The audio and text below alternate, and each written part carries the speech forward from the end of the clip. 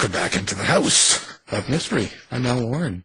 It's a killer day because we, we got Mr. Michael Hawley in the room. That's right. It is. Uh, it's not so much Jack the Ripper Day, but it's uh, serial killer day. So I'm all excited about this. Yeah, anytime we got murder in the room, murder in the house, we've got Mr. Hawley because you know he That is correct. sort of thing. Yeah, I like I'm just dying to here.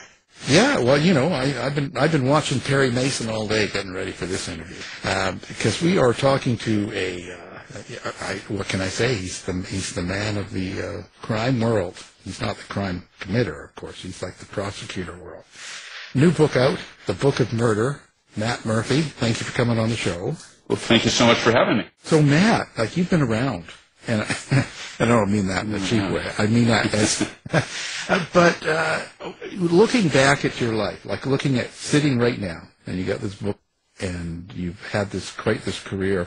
When you look back at it, did you see this all happening the way it's played out for you for yourself when you started? Oh gosh, well, I, you know, I started. Geez, I'm gonna I'm gonna age myself by saying this, but I was a I was a junior law clerk in 1992, and that really was before the whole true crime world uh, took off. And so I never thought, um, you know, that there would ever be so much interest in in what I what I chose for profession. I was fascinated by it. I couldn't get enough that I was a complete junkie on my own. But um, it seems like a it seems like O.J. Simpson times, it? yeah, no, that's exactly right. I watched that, and I, I, I watched that as a baby DA, and I the verdict came back. I was in court that day, and the judge brought me back. Uh, there was a guy named uh, old Judge Wilkerson brought me back into his chambers to watch the OJ verdict come in, and I wound up trying a murder case against Christopher Darden when he was a defense lawyer. Nice, nice man. We got along great. Uh, same result for him as OJ. It was a big loss for his side, but yeah, I, ne- I never thought that um, I'd ever see a day where there was so much public fascination with this stuff. But I'm fascinated by it, so um, I'm glad everybody else is too. But you know, with that, um, you know, with OJ and and I and I've had uh, Marcia Clark and and all that crew on. We've we've talked about all this stuff. You know, the whole the whole scenario, and I always say that with all of this press and all of the media and and hoopla going on about this stuff, it's got to affect the way you perform your job when you're being watched and you're being talked about, especially a case like that one where, you know, every day you go in, oh, she's got a new hairdo. Oh, look what she's wearing today. Yeah, That, that's got, I, you see, cause I, you know, I'm, I'm used to it. I do a lot of stuff in the public because that's what I chose and that's what I do. It's still got its moments where I'm, I'm, I go crazy with some of it. But to do that and to do, to be on performance, be watched, you know, the cases on CNN, you have thousands of people watching and every word and everything you do, they have to make a comment.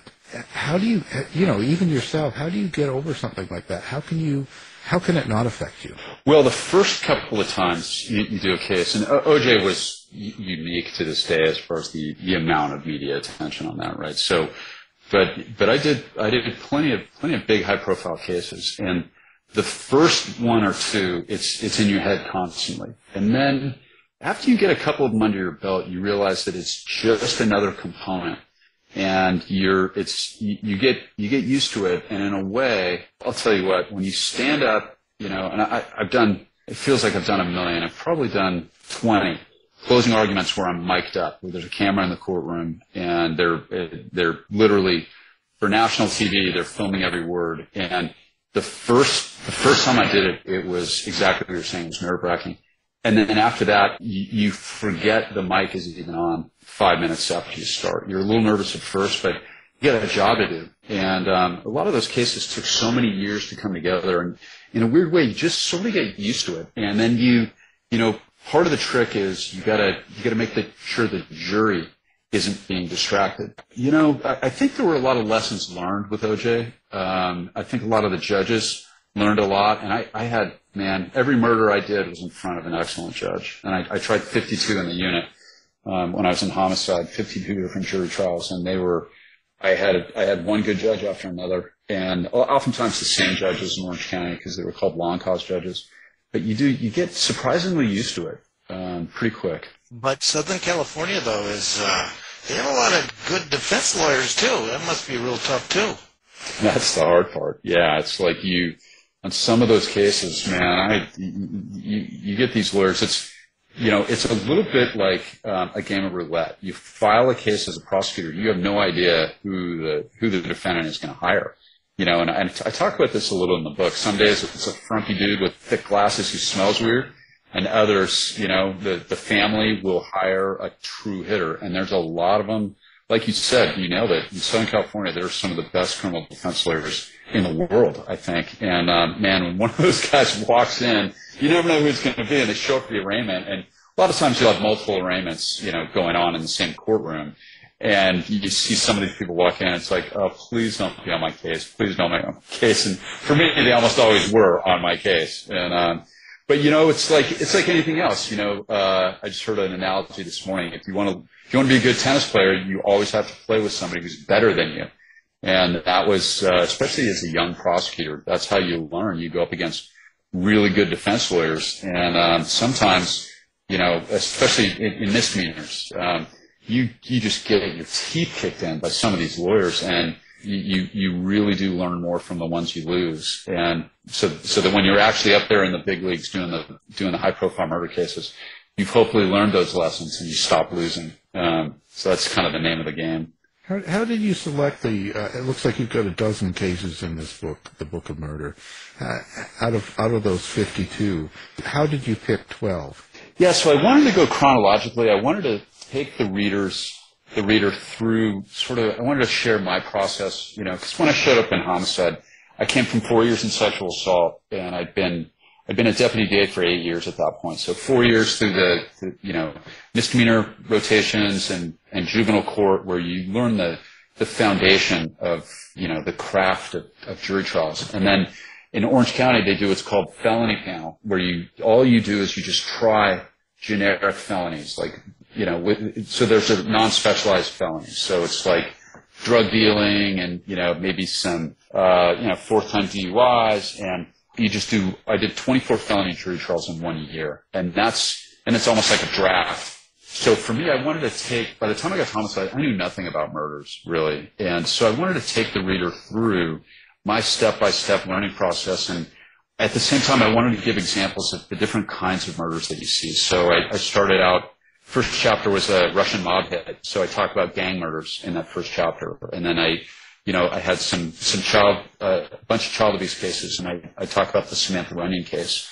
And then, um, you know, so I wanted to kind of do a taxonomy of the different kinds of murder cases that you encounter. And, you know, and I did it sort of in a chronological order, but yeah, I've got a ton more that I, you know, I, I want to write about, and I, we're already putting together a proposal for book number two, and, and I think the next one I'm really going to try to focus on um, on serial killers because it's a it's a fascinating topic, and they are they are I mean just they're intriguing in so many ways for me. Right. Speaking specifically, Rodney Alcala. that's, Rock and Rodney, that's the yeah. one really interesting.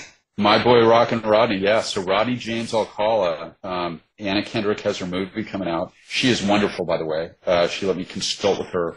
I, I've got my assistant, um, you know, some, some people have people. I have person. I have one person in my law firm that, uh, that works for me. And she called me and she's like, um, Anna Kendrick is on the phone and would like to talk to you about a movie she's making. So um, she couldn't have been nicer or more professional. And so she's got a a movie coming out called Woman of the Hour about you know it's based on it's not it's not verbatim factual, but parts of it are are are exactly what he did, and it's about Rodney Alcala. So Rodney Alcala was a he was a he had a genius level IQ. He grew up in in East LA um, with a family who loved him, clean house.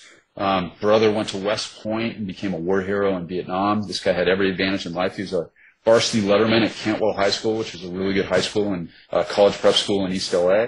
Uh, had girlfriends. He was on the yearbook committee. Went to UCLA Film School. And uh, at night, he was one of the most prolific serial killers in American history. Um, and uh, he was uh, kidnapped an eight-year-old girl named Tali Shapiro in 1968 in Hollywood and raped her within an inch of her life. A good Samaritan saw that, called it in in the olden days of payphones that we remember. Um, and there was a, a, a LAPD officer, Officer Camacho, who this guy got shot in Vietnam, came back from war, um, became a, a Los Angeles police officer, got shot in the in the Watts riots, and, and then he his first day back at work, he gets this welfare check from this Good Samaritan, and it didn't look right. A little girl gets into this man's car, and then the man drove her to his house, and the, this Good Samaritan uh, named Donald Hines followed this whole thing, and Camacho showed up and kicked the door in, and Alcala went running out the back door, and it was like chase the bad guy or save the little girl, and she was absolutely brutalized. She, there was a, a barbell over her throat, and um, she was in a coma for 32 days, but he saved her.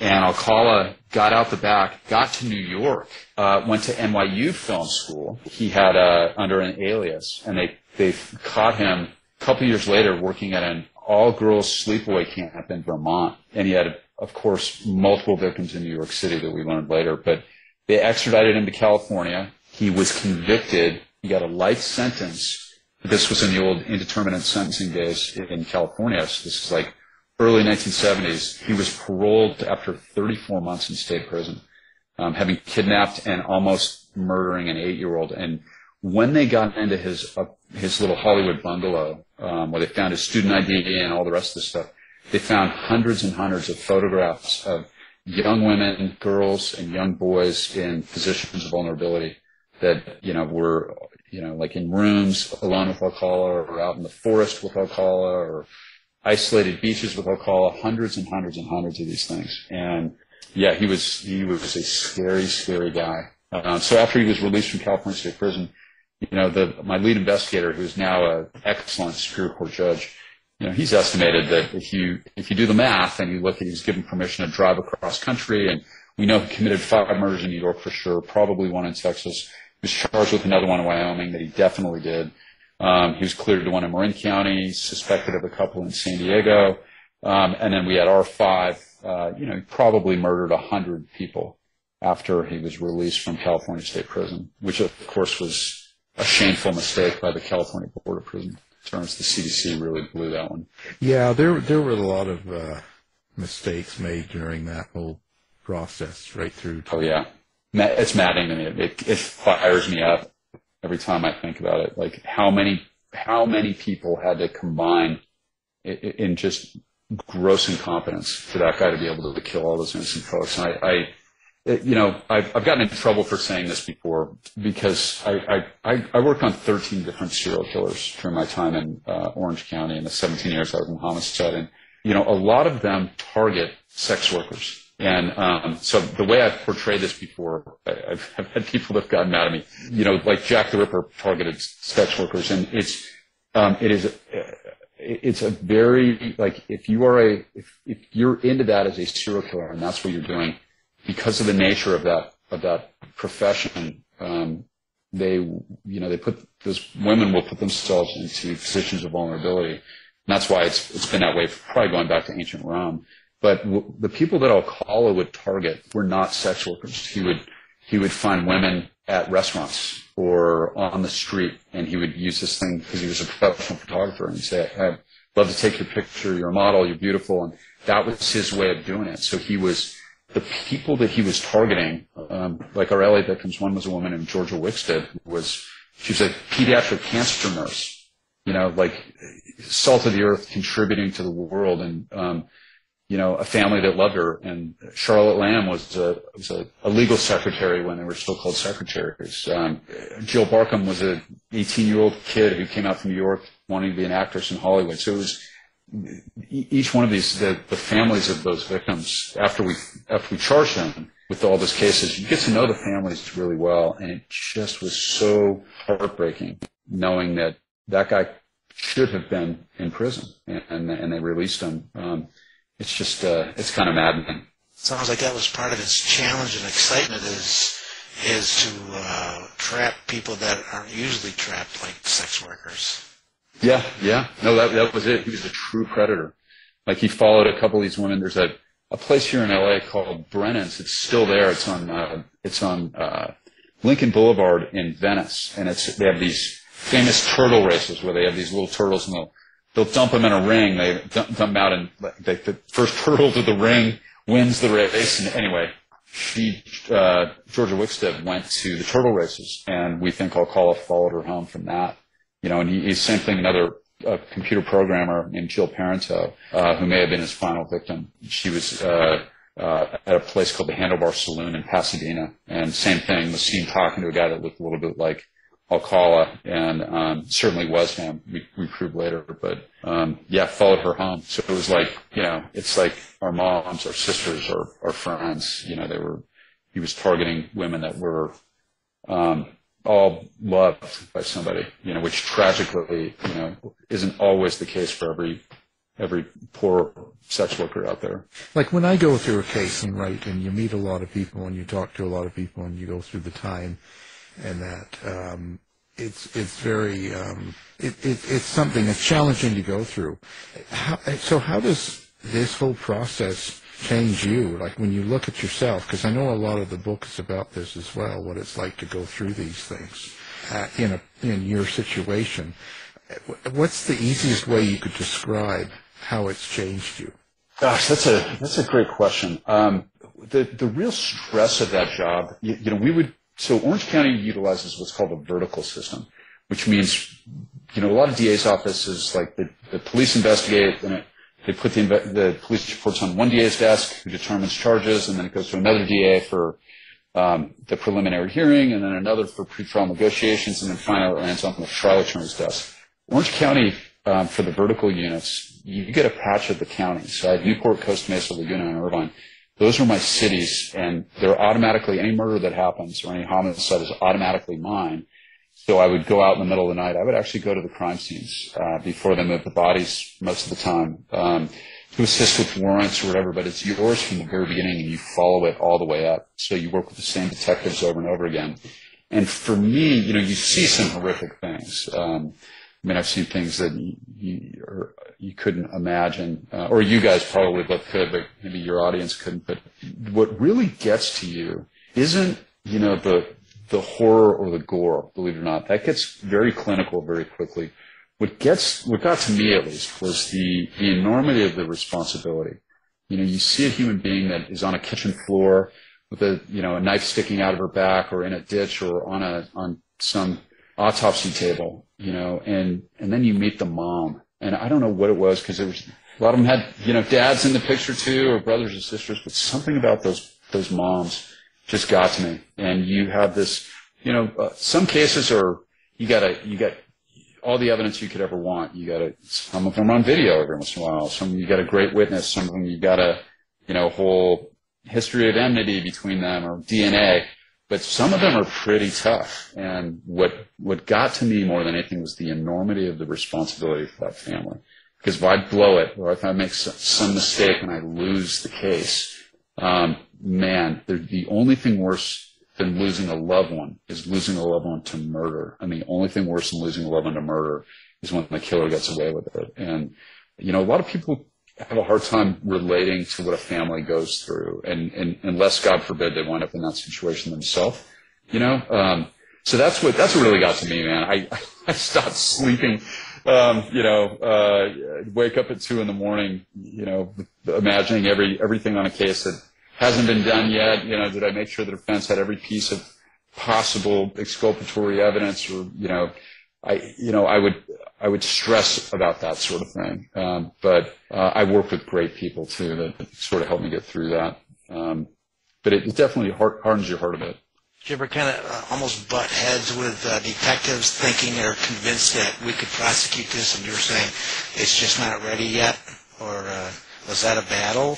No, that is a that is a part of being a prosecutor, and and that's a part that really doesn't. Nobody seems to know that part of the job. Um, like you know, there you will often have cases where you know there's there's there's kind of three different categories. There's the the who done it, where you got a you got a murder and the whole thing is trying to figure out who who the who the killer is. Then you've got the what is it, you know, and and those are the cases where you know exactly who did it. The question is, was it a first degree murder? Was there financial gain involved? Was it a second degree murder? Was it a self defense case? So there's that's probably the most common type of trial you do because a lot of times the you know the person who who wants to be a whodunit and they get caught, then they'll quickly spin into, well, I did it because they threatened me, or you know what I mean. But then there's kind of the, the third category, of the case that you review as a prosecutor, and that is the one where, man, you know who did it, but the question is, is there enough to take a run at them? And you have, as a as a prosecutor, you have a responsibility. You know, you have an ethical obligation that you, first of all, you personally have to be subjectively convinced beyond all doubt that that the person's good for it. You can't enter, you, it can't be a case that you entertain any actual doubt. You must subjectively believe to every cell in your body that that person did it. And then the part two is you have to be convinced that you have enough evidence to prove it to a jury beyond a reasonable doubt. And that's that's a very subjective call. And and that and the, that calculus changes as you get more experience and you do more and more of them. Like for no body cases, for example, first one of those, I, I had no idea how it, how juries perceived that or how they saw it. And I, I was, you know, I didn't think, you know, I, I mean, I was really kind of sketched out and it was a case that somebody else had tried and it came back as a reversal. And it was only after I really got into it, it's like, okay, we don't, we don't really need a body. And then you see a jury and and honestly, guys, juries don't care. They really don't. They they don't want the killer to get the benefit of successfully disposing of some poor murder victim's remains. You know, and and you learn that with experience. So so yeah, you you have that you have that headbutting thing with quite a few cops. But for me, it was mostly respectful. And and and by the end of my my tenure on homicide, it was I, it was always respectful because I was dealing with detectives that I'd been in the trenches with for almost two decades. And, you know, but, but also you reach a point in your career where you want to take, you want to take runs at the really hard ones that nobody else wants to do. And it's almost like, a, it's almost like an addiction. Like any good addiction, you know, you, you need more and more to get the same high. And in the addictive quality of doing cold case murders, um, you know, that's, you go for tougher and tougher cases. And then, you win a few hard ones and you get the respect of the detectives and that sort of pushback and the headbutting, you know, that, that, that ends, um, after just the first couple of years in homicide. And plus I just, I liked my, a lot of my detectives so much. It was always very respectful. You know, when the OJ murders occurred, that was, that DNA was so new that it, it almost was not effective at the moment. And it sounds like you were right around that time when DNA was still kind of questioned in a way. Yeah, no, that they call that RFLP, and I did I did training with the FBI in San Francisco. I did a big, it was like I think it was a five day program where they trained us about RFLP right before the technology advanced to the COfiler and profiler system. So the the RFLP for your listener is that those old gel things with the with the black dashes. Remember that, like the dark, you know, it was like the they'd they'd squish it in with that was the old that was the old way they did they did forensic DNA, and that was the, the OJ DNA. Now they use a, a, a kit. I think they have 20, 21 different locations. So now it's uh, it comes out on a graph, and it's it's a, for my money, it is a lot more convincing, and it's a lot easier to explain for a jury. And yeah, we I I, I really got to ride the the advancement of forensic technology um, through my time in sexual assault and then homicide. It was 21 years, and by you know after you do a few contested DNA cases, you really kind of learn how to how to present that in a way that a jury can can get. And you know, I, I compared my book to a um, like a cat video on Instagram. You know, like when you really think about it, um, the technology that goes into some silly, you know, like prank video that we watch on our cell phones. You think about the technology of the cell phone and then all like how all that works, I have no clue what goes into that, you know. But I know a cat video when I see it, you know. Um, DNA works kind of the same way. It's like the the biochemistry that has gone into you know DNA and you know the the loci and the alleles and all that is impossibly complex. But a jury's job really is just to look at it and and say, hey, what's on the video? Is this a cat? Is this a hippo? Is this a panda?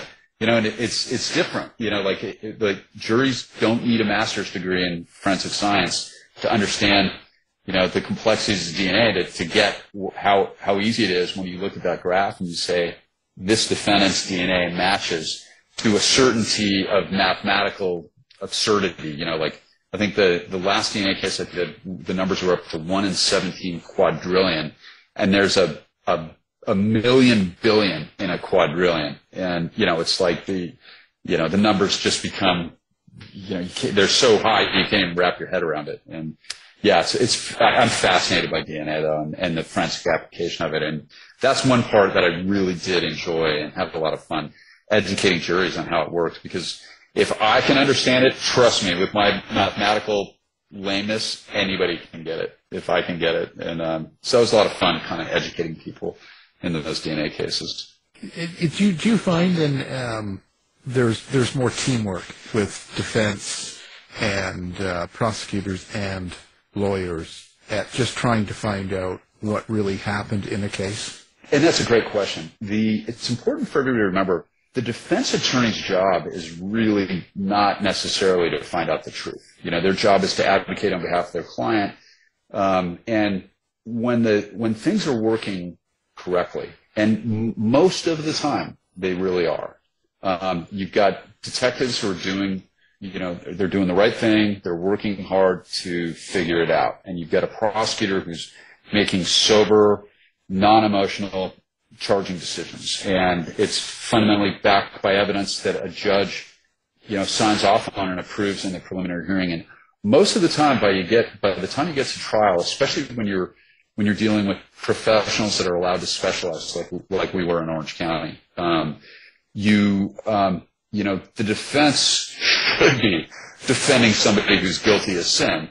So it's the defense lawyer's job to make sure that um, you know they're advocating zealously on behalf of their client but they're not necessarily in the, in the, in the business of finding out the truth.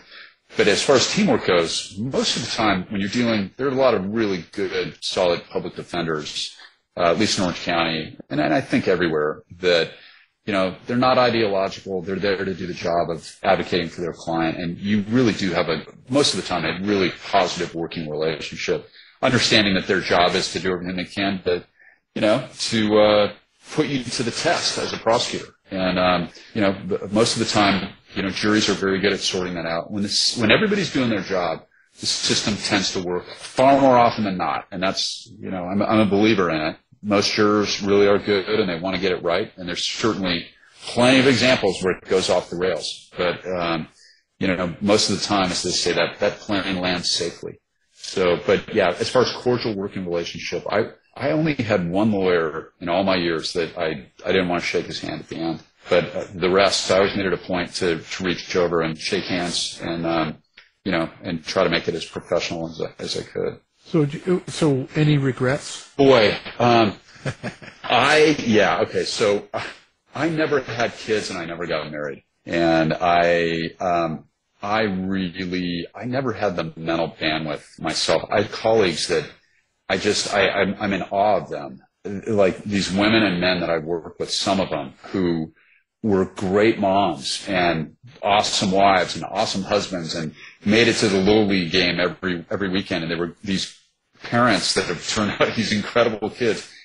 I admire that so much because I just couldn't do that. I never had the mental bandwidth for me personally. And I, I had to go to achieve the level of success I had in that unit. I needed to be all in. And so that made me kind of a lousy romantic partner. And um, yeah, I, I definitely have. I, I regret some of you know the way I sort of some some of my behavior when I was in that unit in the thick of it. Um, you know, towards some of the some of the people I dated, just because I you know um, like I had one with the woman I was dating at the time, her it was in the middle of her birthday dinner. I got a, I had a double in Costa Mesa. I got a call out in the middle of middle of dinner, and it was like she was a, she was a deputy DA in another county, but it it wasn't even a thought in my head. It's like, hey, sorry, we're I got to roll. You know, we're going. Like, take your food to go. You know, and um, you know, there's a few of those that I, a few situations like that. Like, I I, pro, I, I might have been able to wait for her to finish her dinner first, and and I didn't. So there's some things like that. And, um, but the you know, truth be told, guys, uh, yeah, as twisted as it may sound, I, I miss it every day. I still do. I'm like, I feel like I'm one of those, like those old police dogs that get retired when they're like six or eight, and they've got they got plenty of bark left in them. And I sort of feel like that. I I had a I had a shoot recently. Well, I guess about a year now for ABC, and somehow they they rented this house to do our film shoot that I hope they never rent again. And it was in uh, it was in it was in an area of of the South Bay that you know it was it was a beautiful home, but it was kind of a rough rough part of town.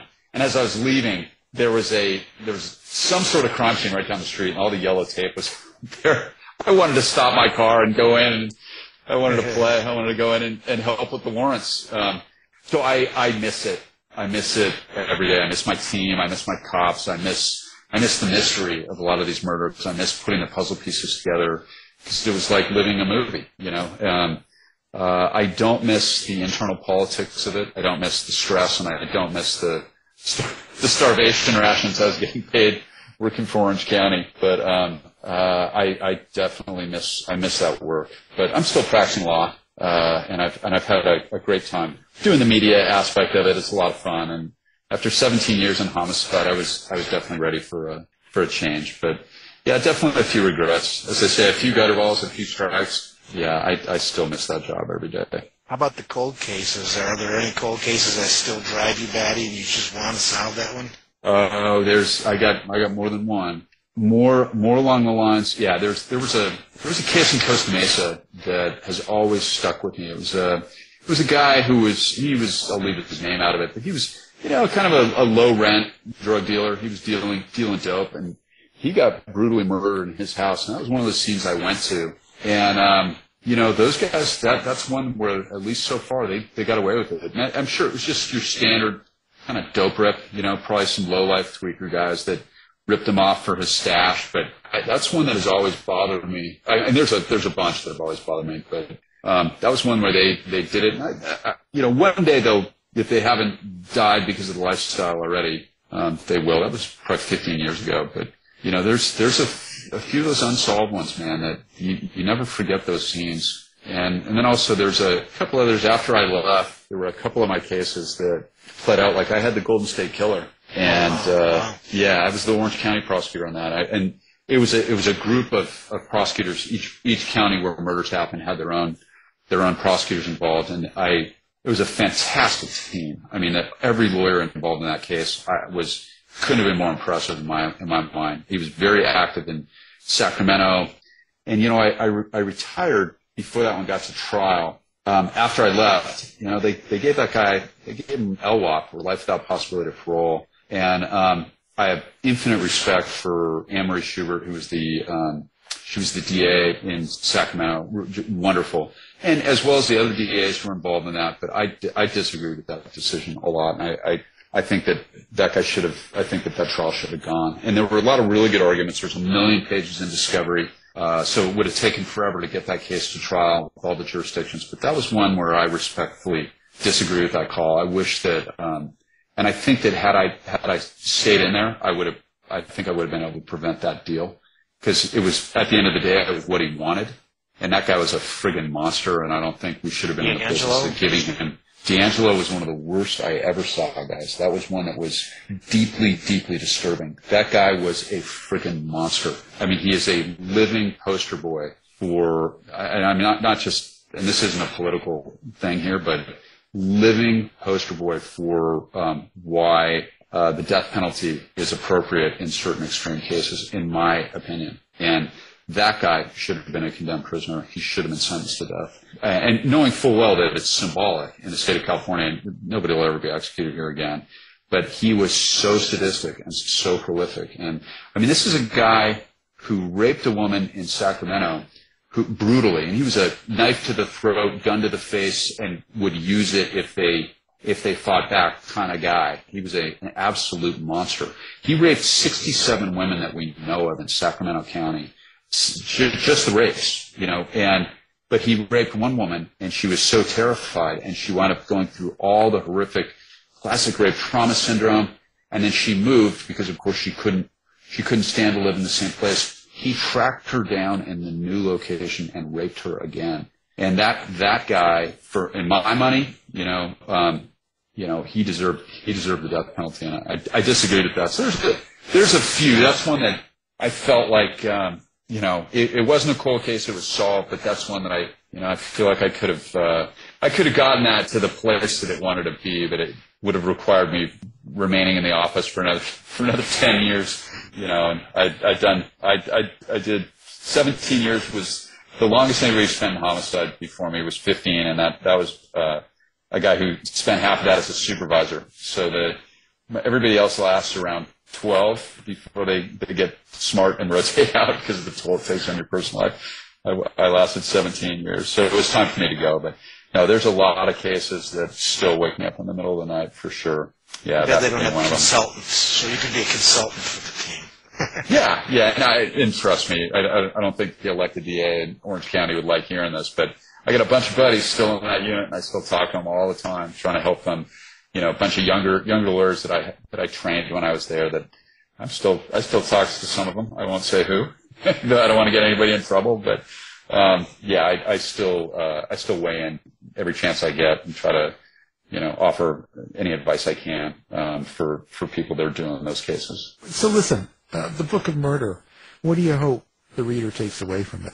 Well, uh, what I really hope the reader takes away from it, um, there, there really are two things, and that is one, um, victims really matter, and and that I I tried to lay that out. Like people that experience you know the death of a loved one, the murder of a loved one, it's the worst thing, and it seems like uh, you know my fair state of California seems to be forgetting that uh, in sort of modern times. Um, but another thing I, I really hope they, that the reader takes away is that behind the scenes, um, I, and I hope I was successful in this. You know, when you when you're the when you're the prosecutor, you're you're the face of the case and you're standing up there and you get you get the, the cameras and you get all the accolades when you when you convict a tough one that's got a lot of media. But behind every every prosecutor's up there making a closing argument, there are a couple of dozen hard-working professionals. The the forensic scientists that are out there at three in the morning, the the the first responders, the the you know the the crime lab personnel that are that are there doing all those tests that just never seem to get their due. And I, and I, I really hope the reader takes out of the way that there are, for every murder that's committed, you know, where one person has done the worst thing, there are all of these people behind the scenes that are, you know, it's like we've seen, you, you walk into one of those scenes, you see the worst that a human being has to offer, you know, snuffing out the light of life of another person. But right behind that, there are just a platoon of these wonderful people that are there at three in the morning, oftentimes freezing cold, and I never heard a single complaint. I probably went to 100 crime scenes. I never saw, I never heard a detective or crime personnel utter a single complaint in all my years. So I'm, I'm hoping that the reader takes that away. There, for every bad person there is out there, there are a lot more good ones. And um, that's that's what I hope the takeaway is. I, I hope to you know get get give credit where credit is due. So let's talk about your social media, website, anything like that. How do you like readers and fans to contact you?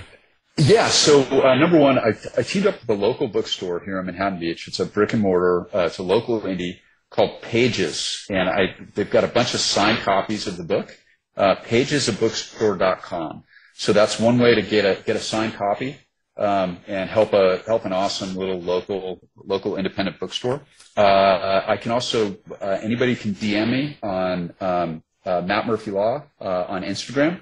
Uh, I do all my own social media. I had none the whole time I was a DA because of all the death threats you get. So I I have turned into a 13 year old girl, and I am constantly I'm constantly posting on Instagram, and I I I will respond to a DM if you send me track me down follow me. I will send me a DM if you got any questions about the book or any of the cases. I, I will engage myself. And then uh, the Audible version of the book is also um, people really seem to like it. It's a mystery to me because I cannot stand the sound of my own voice, but that's doing really well. So um, you know, people can download uh, download the Audible uh, on uh, Audible, which is an, an, Amazon thing. Amazon Prime can also it's overnight delivery on the hard copy. But yeah, otherwise, pagesabookstore.com. Uh, and try to check out this new Anna Kendrick movie. I, I was blown away at how good this actor was, and she's phenomenal in it too. It's her directorial debut, uh, and it's called Woman of the Hour, and I think it comes out on Netflix this week. The premiere is this Thursday, and I'm gonna, I'm gonna go to that. So that'll be a trip for me, my first, uh, Hollywood red carpet experience. I'll be, I'm sure, um, you know, in the background holding somebody's, somebody's bag or something, but, um, but it, I'm looking forward to that. Oh, you'll be a star. People will be lined up to see you. It's all good. Fantastic. Hope so. we'll see. We appreciate you coming on the show and, and talking a little bit of crime, you know? Yeah, well, thank you so much for having me, guys. I, I am a fan of your show. Love it. Um, and I, I need to pay closer attention because I, I actually have your book um, uh, on my shelf, and I, I never can I never connected the, the name to the to this uh, to this interview. So thank you for writing that book. I thought it was I thought it was outstanding. So people should check that out too. That's on Rodney Alcala. Oh, I appreciate that. Appreciate you saying that. And, and everyone, pick up the Book of Murder. the prosecutor's journey through love and death. Matt Murphy, thank you. Thank you so much, guys. Speaking with you. This has been a production of the House of Mystery Radio Show. To find out more about our show, guests, or hosts, go to our website at houseofmysteryradio.com.